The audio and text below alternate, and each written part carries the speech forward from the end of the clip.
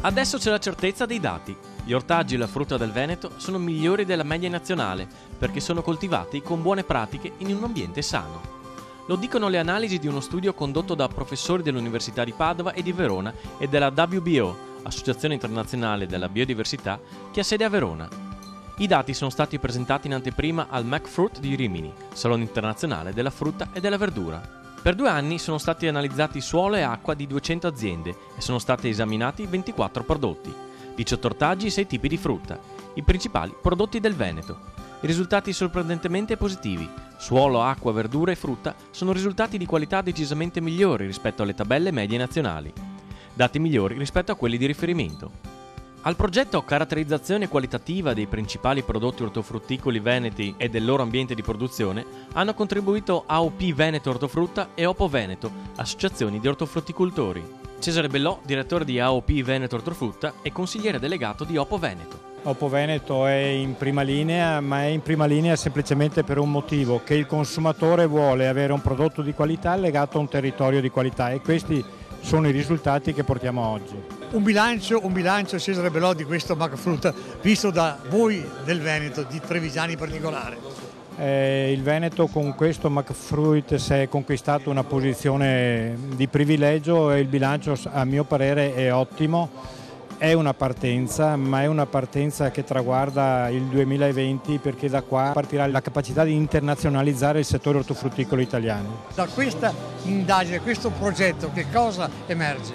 Beh, intanto siamo riusciti a caratterizzare gran parte degli ortaggi tipici del Veneto e in genere posso dire che il livello di qualità è molto elevato. A cosa è dovuto questo livello elevato di qualità secondo lei?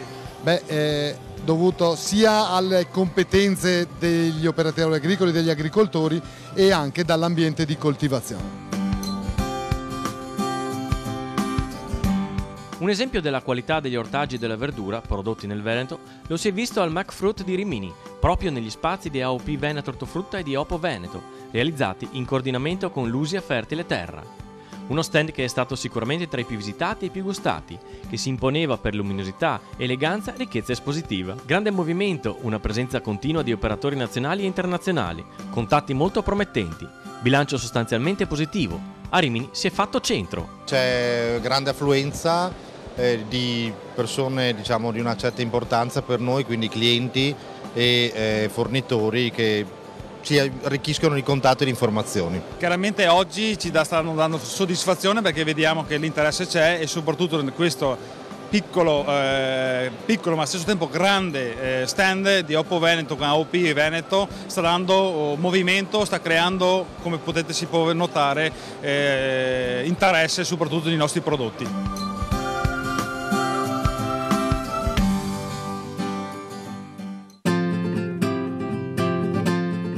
Villa Contarini di Piazzola sul Brenta, una delle più belle ville venete, è tornata ad ospitare Casius Veneti, la più bella e completa rassegna di formaggi veneti. Un'edizione record, questa del 2015, in gara ben 380 formaggi. Una straordinaria immagine che dà la misura di quanto siano cresciuti i formaggi veneti in termini di quantità e soprattutto di qualità. Oggi sono pronti ad affrontare con autorevolezza il mercato estero. Superare le frontiere è una necessità se si vuole crescere, ha detto il presidente Luca Zaia, inaugurando la rassegna concorso. Anche perché la maestria dei produttori veneti ci permette di avere un bel biglietto da visita per confrontarci in senso positivo con il mondo. Casus Veneti può diventare Casus Veneti World, cioè mondo, e quindi avere anche il coraggio di affrontare grandi sfide, grandi confronti, grandi, grandi dibattiti con i formaggi più importanti a livello nazionale e a livello internazionale. I cittadini da noi ci aspettano questo, quindi una grande mostra di formaggi mondiale e internazionale direttamente qui. Una splendida manifestazione del gusto veneto, oltre 20.000 visitatori, la presenza delle più belle latterie del Veneto, la soddisfazione dei promotori. Sentiamo l'assessore regionale all'agricoltura Giuseppe Pan e il presidente di AproLav, associazione di produttori di latte del Veneto, Terenzio Borga. Questi formaggi hanno un disciplinare, spieghiamo ai veneti cosa disciplinare, vuol dire c'è una certificazione che sono fatte totalmente con latte veneto, quindi dei nostri 3.400 produttori che eh, naturalmente sono certificati, sono controllati e danno un latte di alta qualità e quindi un formaggio di grande eccellenza. Formaggio di grande eccellenza, Presidente Borga. Beh, eh, credo che ormai sia risaputo che le produzioni migliori sono le nostre. Prova ne sia che le migliori manifestazioni sono qua nel Veneto, perché è vero, nelle altre regioni fanno qualcosa, ma fanno più mercati che concorsi veri e propri a tutti i concorsi nei quali noi andiamo a partecipare i nostri, i nostri, formaggi vincono le categorie, si stancano di invitarci perché le qualità nostre sono sicuramente le migliori.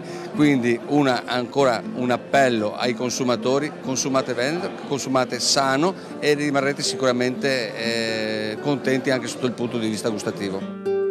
Sempre festosa la consegna delle medaglie, ben 5 d'oro sono state conquistate dalla Latteria Vicentine, due medaglie d'oro e 5 d'argento sono andate alla Latteria Soligo. Sono state consegnate ben 38 medaglie d'oro ad altrettante categorie di formaggi. Hanno fatto la parte del Leone i caseifici della provincia di Treviso, seguiti dai Vicentini. Caseus Veneti con questa edizione ha dimostrato di rappresentare al top i valori della tradizione dell'arte casearia veneta, che è un'autentica ricchezza del territorio. E già si parla di Caseus Veneti World, un evento che uscirà dai confini regionali per farsi nazionale e internazionale. Le condizioni ci sono, c'è il prodotto, c'è il corale impegno delle istituzioni, dei produttori e delle associazioni che li rappresentano, dunque si può.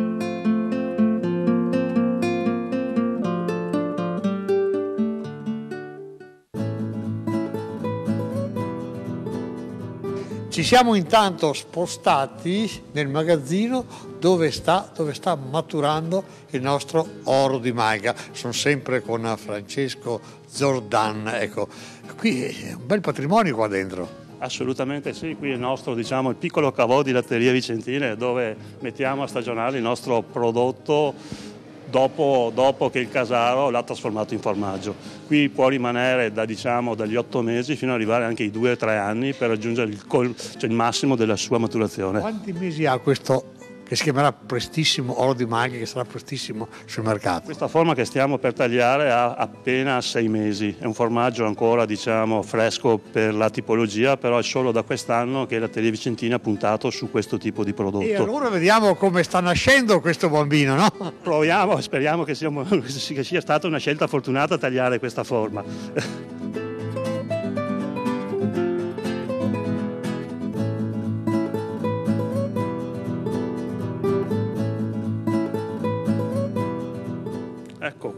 stiamo aprendo.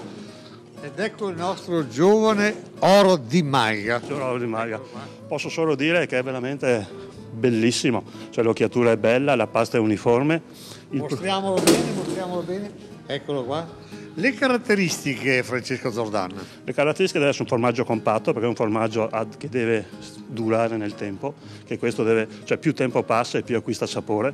Le caratteristiche di un formaggio a pasta compatta, l'occhiatura deve essere piccola e irregolare, uno o due occhietti solo sulla quale riguarda la pasta e il gusto deve essere intenso, con il passare del tempo acquista il gusto di, cioè diciamo di frutti come la nocciola, la noce e ti lascia un retrogusto, cioè un retrogusto, e lascia in bocca un gusto proprio di frutta secca, cioè questo, questo dovrebbe essere l'armonia che ti dà e soprattutto il sapore e l'odore del pascolo delle montagne. Ci fermiamo un attimo per parlarvi con la CIA di Venezia della vendemmia che è alle ultime battute.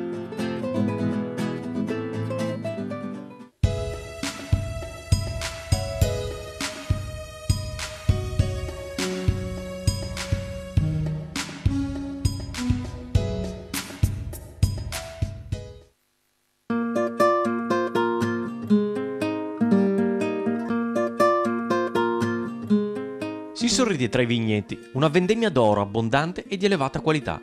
Il tempo è stato benigno, ci sono tutte le promesse per ottimi vini. La raccolta dell'uva 2015 è alle ultime battute ormai ed è tempo di bilanci, che facciamo tra i vigneti pregiati dell'area dell'Isompra Maggiore e del Piave, con vignaioli della CIA di Venezia, Confederazione Italiana Agricoltori.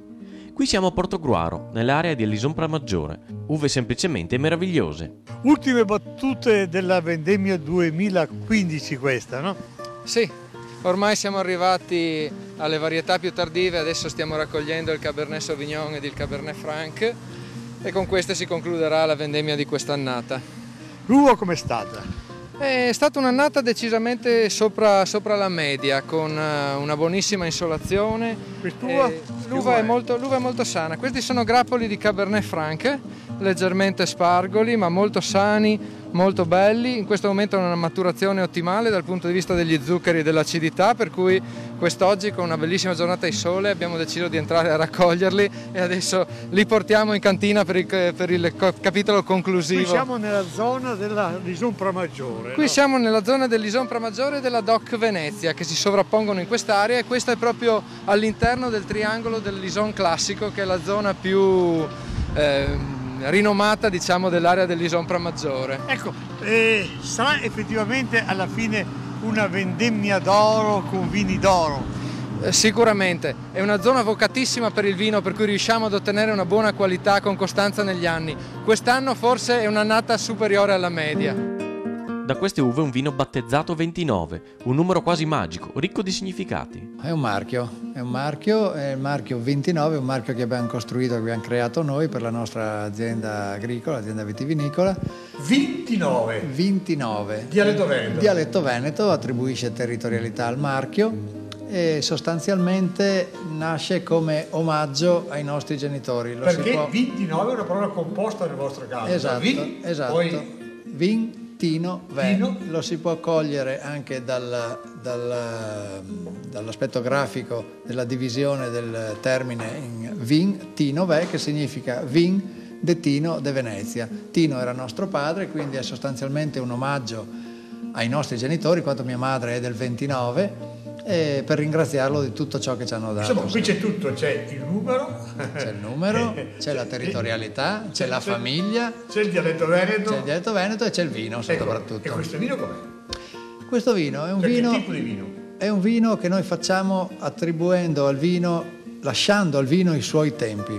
Il vino non ha fretta e noi nemmeno. Quindi eh, il vino che commercializziamo non è un vino dannata, ma è un vino che eh, si che cresce, che si sviluppa, che si forma con i tempi naturali della vinificazione e del, eh, dell'affinamento e della maturazione. Sta crescendo il vigneto dell'area Lisompra Maggiore, vini DOC e vini DOCG, una viticoltura di qualità che ha radici profonde nella tradizione di questa terra, ma che nel contempo si sta fortemente innovando e sviluppando. La più avanzata vitivinicoltura abita anche qui. Ci siamo spostati intanto tra i vigneti del fiume Piave, terra di rossi di forte carattere. Promettono bene queste uve, una vendemmia che darà soddisfazione. Enrico Casarin, direttore cantine Meola e Roncade, gruppo vivo Viticoltori Veneto Orientale. Ultime battute della vendemmia, qui abbiamo, che uva abbiamo qua? Allora, questa è un'uva baccarossa, eh, raboso, è l'ultima uva che viene raccolta nelle nostre zone, una, un'uva che era molto diffusa in, queste, in questo territorio ma stia, la stiamo riscoprendo perché è un'uva molto, che si adatta molto bene ai nostri terreni, si ottengono degli, degli ottimi vini sia rossi che rosati. Gli umori dei vignaioli in questo momento alla conclusione di questa vendemmia 2015? Beh, è stata una vendemmia molto buona, già dalle prime uve che sono entrate in cantina, quindi parliamo di Pino Bianco, Pino Grigio, Chardonnay, per poi passare le uve Glera atte a dare il prosecco e le uve a bacca rossa come il Merlot e Cabernet, si è potuto constatare un'ottima sanità delle uve, gradazioni zuccherine molto buone e una buona resa in mosto. Dopo sicuramente eh, è stato favorevole anche il periodo eh, climatico che si è verificato durante le fasi vendemmiali, buone escursioni termiche, buon soleggiamento durante il giorno, ha permesso, far, ha permesso, di far, sì che durante le fasi di vinificazione si sono potuti ottenere dei prodotti molto fini con profumi eh, floreali, fruttati, sia per quanto riguarda i vini bianchi che per i vini rossi. Lei ha parlato di Vivo, cos'è questo Vivo? Allora, gruppo Vivo nasce nel 2012 dalla fusione di due grossi gruppi, cantine produttori riuniti del Veneto orientale, a cui eh, facevano parte cantina di Meolo, Jesolo, San Donà, Portogruaro, Pramaggiore, Torre di Mosto, Roncade e Motta di Livenza e cantine produttori riuniti di Campo di Pietra. Quanti ettolitri voi esprimete complessivamente? Noi lavoriamo, la forza del nostro gruppo è sicuramente il quantitativo d'uva lavorata, parliamo più di 500.000 quintali d'uva lavorata annualmente. Quanti ettolitri di vino, grosso modo? Oltre 400.000 ettolitri di vino. Un vigneto considerato modello quello dei fratelli Gerino e Gabrieli Scarabel di Musile di Piave. Ed ecco un bellissimo grappolo di raboso, di uva rabosa. possiamo dire che questo, siamo sulla zona del Piave, quindi il vitigno raboso è uno dei vitigni eh, più coltivati. Ehm, le caratteristiche del raboso sono di avere un grappolo di dimensioni molto elevate, eh, con acini eh, pronunciati mh, abbastanza grossi e la, una caratteristica particolare è quella di avere ehm, il rachide che si divide in due biforcazioni formando una specie di coda di rondine che vediamo qui appunto. Ecco, quando è che incominceremo a raccogliere quest'uva? Allora quest'uva eh, in, in, questo, in, questo, momento è in fase ancora di maturazione, eh, verrà vendemmiata all'incirca tra una settimana, dieci giorni, ehm, perché eh, appunto è il vitigno più tardivo che, che c'è in, nella zona qua del come, Veneto. Come va il raboso in questo momento? Um, il raboso del Piave, no? Allora, um, come um, prezzo alla vendita non è un, um, abbastanza buono perché purtroppo vanno soprattutto i vini precoci come i Pinot e come il, il famoso Prosecco. Eh, I vini rossi in generale soffrono un po' di crisi. Noi comunque abbiamo deciso di puntare sul, sul Raboso perché è un vitigno autoctono, è un vitigno della zona, ti permette di diversificare anche le epoche di raccolta perché eh, altrimenti si perde un patrimonio. Per i vini qui della zona del Piave, la vendemmia 2015 come è stata, come si sta concludendo? Allora si sta concludendo come, eh, in base alle aspettative, perché già dalla primavera eravamo partiti col piede giusto, infatti rispetto all'anno scorso sono stati eseguiti molti meno trattamenti in, in campo e siamo arrivati all'epoca della vendemmia con una molto molto sana rispetto all'anno scorso.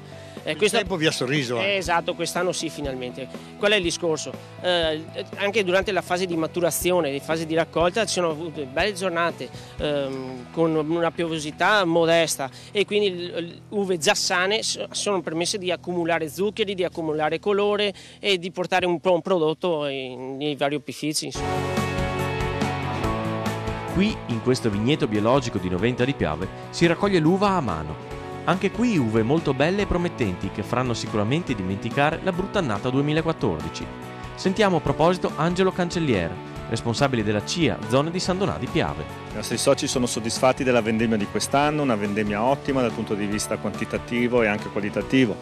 Oggi abbiamo visto degli esempi di aziende mm, vitivinicole ottime, sia nella zona del, dell'Isonde Maggiore che qui dove ci troviamo nella zona del Piave. E questo è un ulteriore dato che la vite è una delle ultime produzioni che nelle nostre zone danno un margine di redditività elevato. Sempre più operatori stranieri visitano questi vigneti del veneziano, dai quali esce un vino molto apprezzato di qualità riconosciuta. Ne abbiamo incontrato un gruppo proveniente dagli Stati Uniti, dalla Florida, in una cantina di Noventa di Piave. We love the wine. It's muy delicioso. Bellissimo, yes. Very, very good. Very, very good. Excellent wines. Questi qui sono arrivati attraverso la strada dei vini del Piave, no? Credo siano arrivati, signor Richard, e credo sia arrivato attraverso la strada dei vini del Piave, comunque attraverso il circuito del turismo.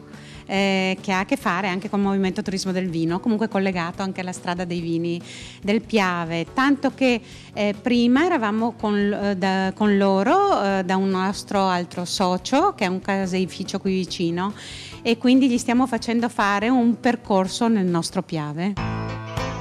Da un lato un vigneto carico di uva rabosa, pronto ad essere vendemmiata. Dall'altro un campo di soia che presto sarà raccolta. L'annata agraria 2015 va verso la conclusione. Ci fa il punto il presidente della CIA di Venezia, Paolo Quaggio. Partiamo dal vigneto sicuramente per quello che riguarda il comparto vitivinicolo, è assolutamente un'annata positiva eh, da un lato per la produzione sicuramente in aumento rispetto all'anno scorso che è stato un anno deleterio, ma anche dal punto di vista qualitativo che è, stato sicuramente un, è sicuramente un'annata molto molto valida. Per quello che riguarda poi invece magari eh, i seminativi, beh, la soia stanno cominciando le prime, prime raccolte adesso per cui non, non ci sono ancora dati diciamo, eh, certi o quantitativamente validi per quello che riguarda la soia. Per quello che riguarda il mais sicuramente una diminuzione eh, della produzione perché è stato anche seminato meno. Eh, in certe zone è diminuita anche la capacità produttiva per ettaro per cui eh, questo ha insistito diciamo, sul calo della produzione eh, il neo più grosso è che nonostante tutto il prezzo non è ancora remunerativo diciamo, per i nostri agricoltori, per cui eh, si sperava in un'annata sicuramente migliore per quello che riguarda il mais. Eh, altri nei purtroppo legati soprattutto al comparto zootecnico, quindi latte, carne, eh, avicoli, coniglio in testa, eh, in cui i prezzi, a parte forse il coniglio che c'è una leggera ripresa, sono ancora eh, decisamente al di sotto della soglia diciamo, di redditività. Per quello che riguarda invece so, il reparto ortofrutta, eh, luci ed ombre, alcuni prodotti sicuramente hanno avuto un'annata abbastanza buona, altri prodotti tipo le pesche per esempio è stata un'annata dall'inizio alla fine decisamente deleteria per quello che riguarda il prezzo, per cui eh, la speranza diciamo, di alcuni agricoltori di recuperare un'annata pessima come quella dell'anno scorso in parte è andata delusa.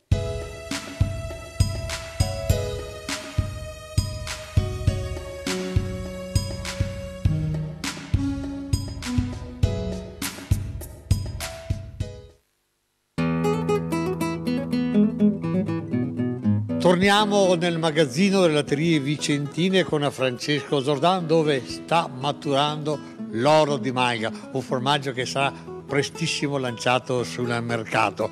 Un formaggio che sta maturando, questo abbiamo detto, no? Quanto manca perché questo formaggio sia veramente buono, pronto da gustare? Diciamo che per essere pronto da gustare a questo formaggio manca ancora 5-6 mesi di stagionatura per raggiungere il primo step di maturazione. Dopo lasciandolo stagionare sempre di più, questo guadagnerà sempre più sapore e diventerà sempre più buono, sarà un formaggio da contemplazione più che un formaggio. Un formaggio da contemplazione? Perché è un formaggio fatto con un latte prodotto diciamo nelle nostre maghe alimentate solo con il fieno di pascolo e con l'erba di pascolo, dunque un sapore e amore.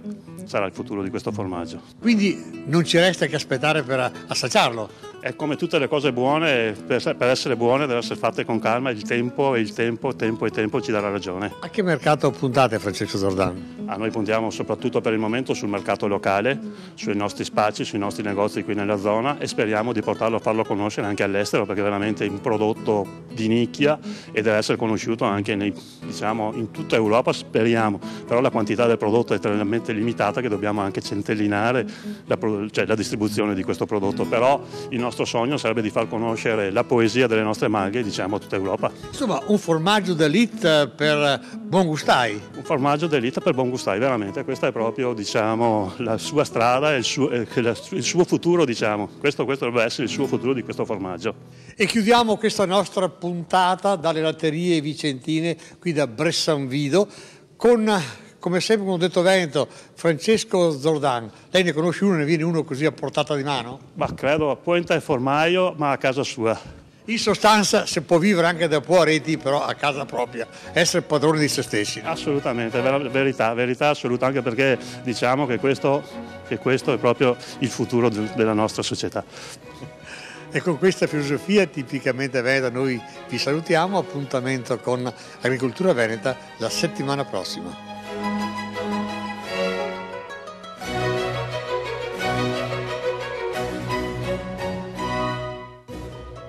Collaborazione con Asco Trade, luce e gas, energia